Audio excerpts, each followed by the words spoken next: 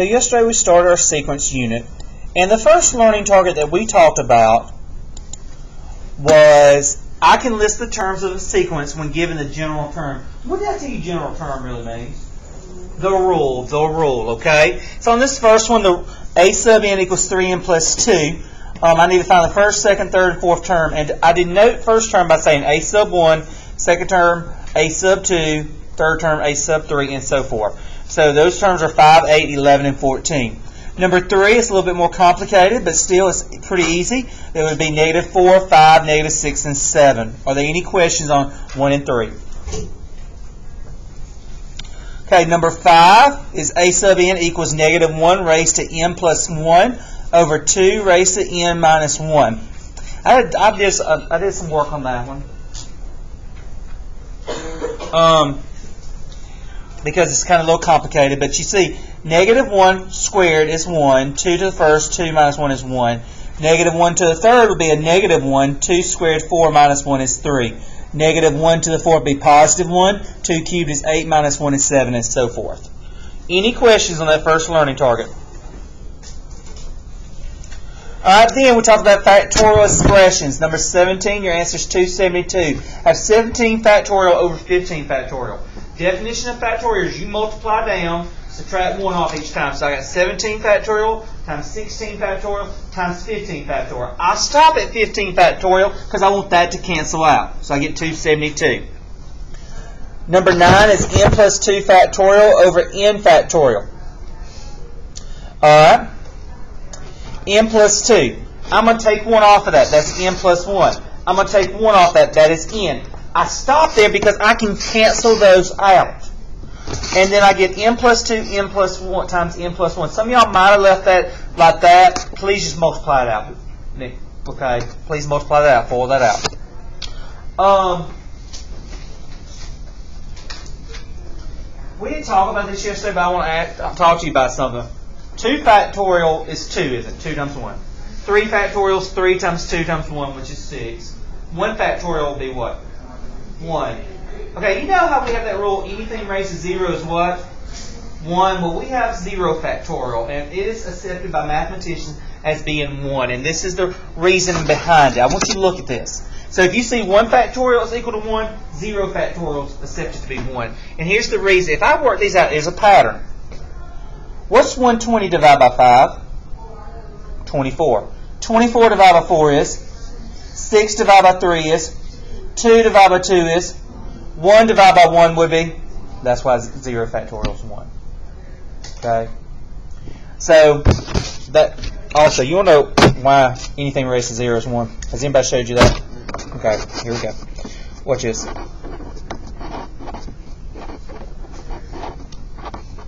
It's a pattern. These two, you use a pattern to explain why.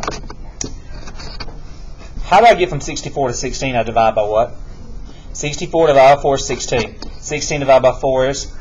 4 divided by 4 is? That works for either all of them. 3 to the 0 is 1. 3 to the first is 3. 3 squared is 9. 3 cubed is 27. 27 divided by 3 is? 9 divided by 3 is? 3 divided by 3 is? That's why everything is raised to 0 is 1. That's the proof for it. Okay? Alright, number 11. Are we good on factorials? Okay, then we talk about this means this is a Greek letter for sigma. You might have say all that in fraternities and sororities. Sigma is a Greek letter. It's known as sigma notation or summation notation. The answer to that is 105. We're worried about numbers from 1 to 6, so I'll plug that in. Summation means sum, so I'm adding all that up. Number 13 was pretty easy. That is 60. Number 50, this is what reminded me why I need to talk about that because you got 0 factorial here. From 0 to 4, so I plug 4 in. 3. Um, so negative 1 to the 4th will be positive 1. 4 factorial is 24. Negative 1 cubed is negative 1. 3 factorial is 6. Negative 1 squared is 1. 2 factorial is 2. Negative 1 to the first is negative 1. Negative 1 divided by 1 is that, that's why I have a negative there. Negative 1, anything raised to 0 is 1. Regardless if it's positive or negative, 0 factorial is 1. So 1 divided by 1 is positive 1 there. And you get 3 eighths. Number 17, we worry about from numbers from 1 to 5, including 1 to 5. And here's our expression. I plug five in. I plug 4, 3, 2, 1. It's kind of neat what happens here. It's a lot of work, and yes, you said, Mr. Hester, I didn't show all this work. I showed it because I thought this might give a particular problem to some people. Yes. Could you do it? Could you simplify the beginning? Yeah, like, Yes. so if factorial would be n minus 1 and then just. You could do that. Yep, you could have. I had that come up first here. All right, now, what happens here, I have 5 factorial over 5 minus 1 factorial. So 5 factorial over 4 factorial. So it ends up 4 factorial over 3 factorial, 3 factorial over 2 factorial, 2 factorial over 1 factorial, 1 factorial over 0 factorial. Oh, you going back to math class? I don't know. Let me go back that you hanging out. Oh, come on, come on, come on, come on.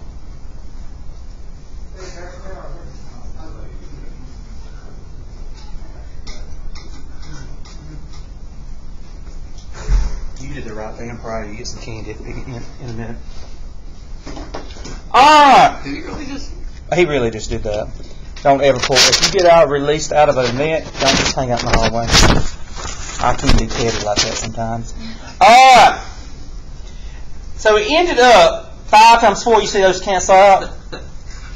You see those cancel out. So it ended up being five plus four plus three plus two plus one. Even though it looked monstrous, it came out to an easy problem of 15. All right. Are there any questions on that? Okay, turn back to your notes yesterday. Thank goodness this stuff is easy.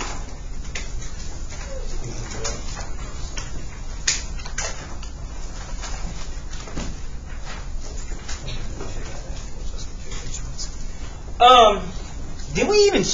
How far did? Oh, that. Oh, that's another lesson. Which, we're like two note takers ahead in first period. All right, let's look here, page three.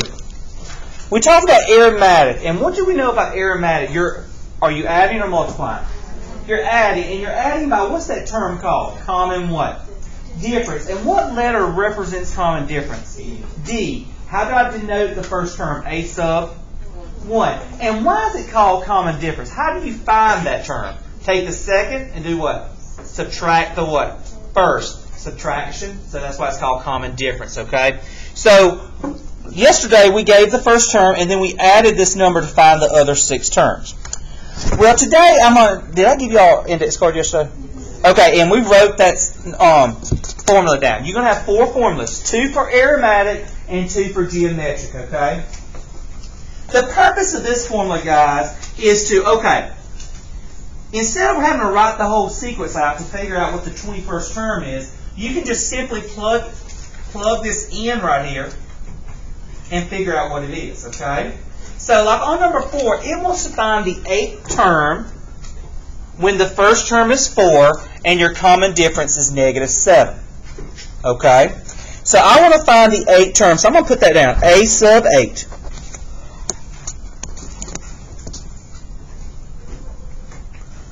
Is your first term? 4. They give that to you, okay? Plus. Now, looking in this formula here, you see that little n right there? And that big N right there? They have to be the same value. So this is 8 right here, what's that big N going to be? 8, okay? So you're going to plug 8 in. And then your common difference is negative 7.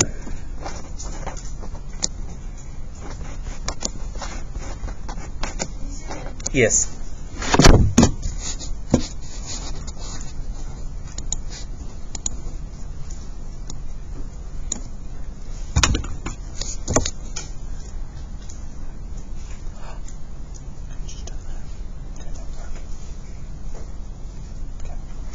Now, a to the 8th equals 4 minus 49. So a to the 8 equals negative 45. So the 8th term of that sequence would be negative 45.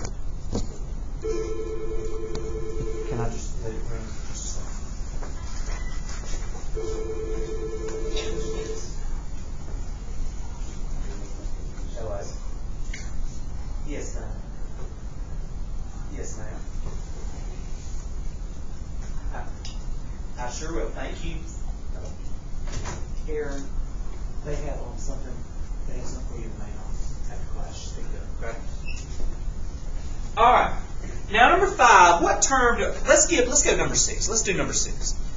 Because we're not doing all four of these same thing. Number six. I want to find the what term? The twelfth term. So I'm gonna write a sub twelve equals my first term. The formula. The first term is negative eight plus. This goes in the parentheses minus one. Your common difference is negative two.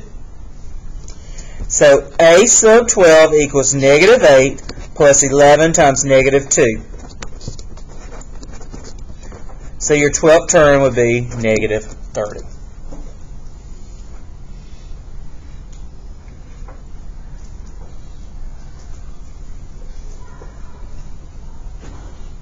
So our first learning target was I can find an indicated term of an arithmetic sequence.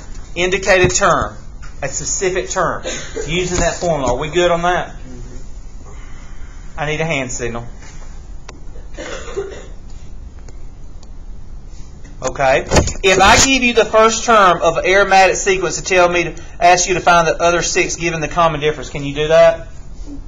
Okay. All right, let's turn it over. The next one, we're going to find the sum. Like, I want to know what's the sum of the first 100 terms of this sequence, or the sum of the first 10. That's another formula that you need to write down on your card. Now you say, Mr. Hester, how will I know which one to use? This one starts with S, so when I ask you to find the sum, you use this one. And when I ask you to find the in, a term, you use the other one, okay?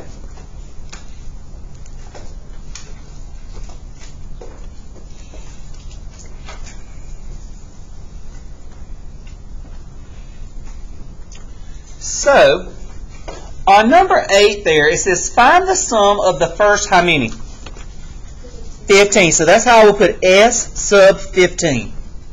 Of the arithmetic sequence 3, 6, 9, 12, dot, dot, dot, dot. Keeps going. So S of 15, okay, these ends are the same, so I'm going to put 15 over 2. A sub 1 means your first what? Term. So first term is 3. Now, you have three ends appear in that problem. That's 15, that has to be 15, that has to be 15. Do we know the 15th term right now? No. But how can we find the 15th term? Your. Use that formula we just learned it. So we got to come to the side and find the 15th term.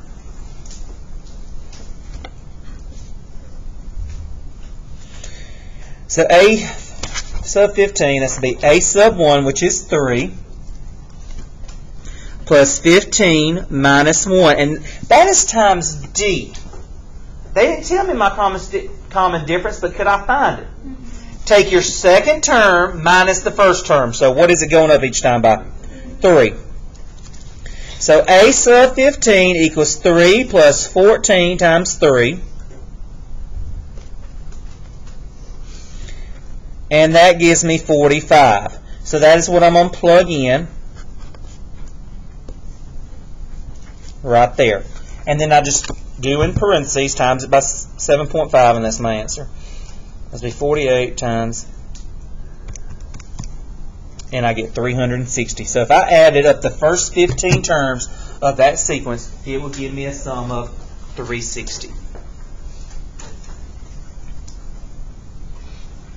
Now, guys, you might see have problems where you might have 3, 6, 9, 12, dot, dot, dot, 45. If they give you dot, dot, dot, 45, they've given you that term, so you don't have to do this. You just put that in right there. Does that make sense? Sometimes they might do, this is this dot, dot, dot, and the last number of that sequence that they want you to do. Well, if that's the case, that's what you go there, and you don't have to do this, okay? Does that make sense? Okay, let's do one more of these. Number 9. It says find the sum of the first 100. So S sub what? 100 equals 100 over 2, parentheses, what's your first term? 1 plus A sub 100. All right, come over here and find A sub 100. 1 plus 100 minus 1. What's my common difference here? 2.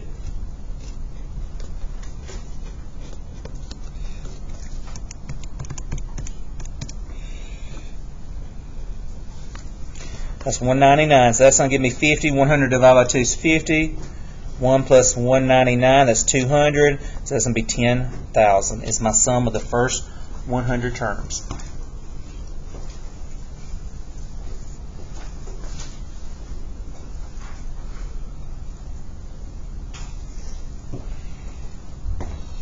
The test is pretty easy if you have this note card. Don't lose your note card because I'm not going to write the formulas on, on board. All right, are we good with it? how to find the term and the sum of the arithmetic? Okay, turn to page 5. We're going to start talking about geometric.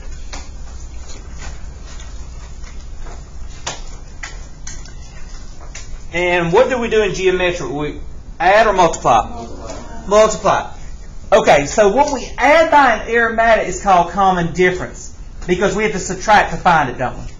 So if we do a multiplication, how do we find it? We're going to have to do what? Divide. So you said, Mr. Is called the common quotient? Not quite, no. But it's called the common ratio.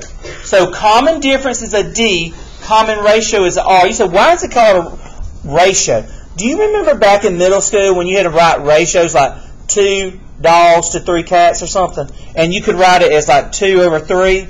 Well, isn't the fraction bar mean division? So that's why they use ratio, okay? That's the R. So right here it says write the first six terms of each geometric sequence. What's my first term? Six. How will I get my second term? Multiply by what? So that's going to give me 2. And then I'm going to say 2 times 1 third, which is 2 thirds.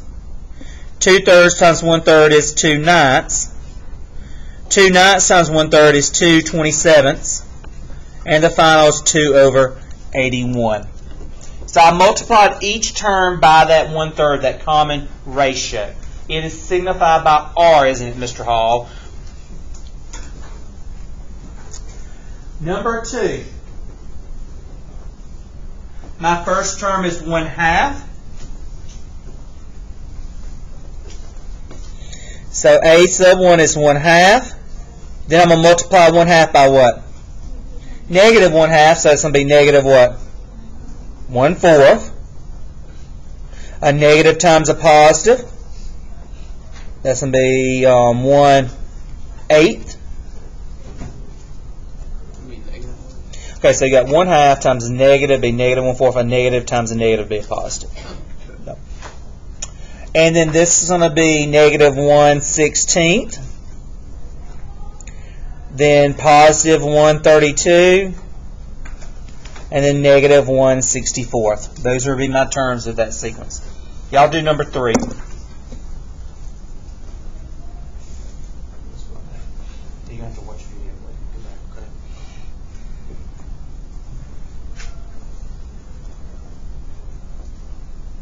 Number three is probably the easiest of the three.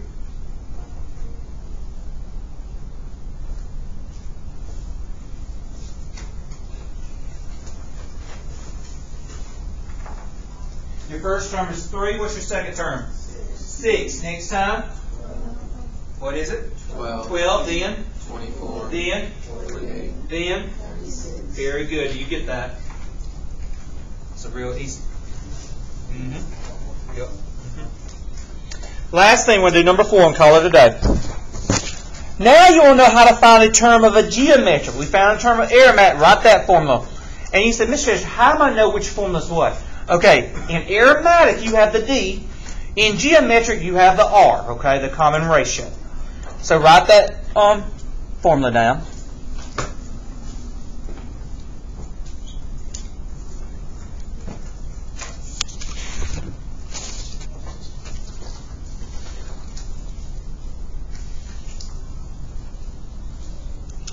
So we want to find on this first one the eighth term of that geometric. A sub 1 is the first. Your common ratio is negative 2 raised to, these ends are the same, 8 minus 1. So negative 4 times negative 2 raised to the 7th.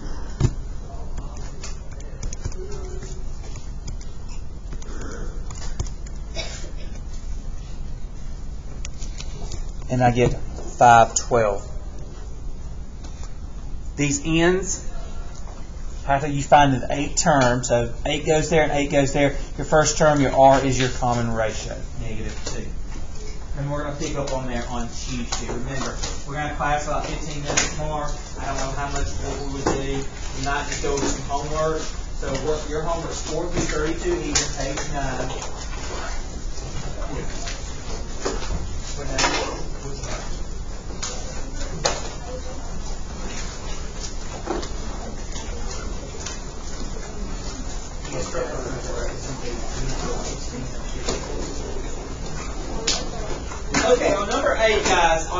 On number eight on your homework, there's one that says 16 factorial over 2 factorial and 4 factorial. That 4 should be a 14, okay?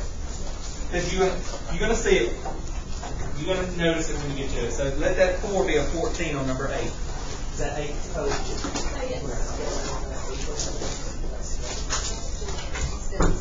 Yeah.